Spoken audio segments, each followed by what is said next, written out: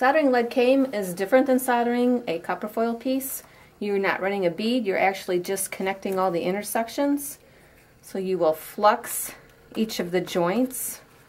Then you will take the solder, lay it on top of the joint, bring the iron down, melt a little puddle, give it a little swirl, and pull off. You never want to pull up because you'll get little ridges off to the side, nice flat seam.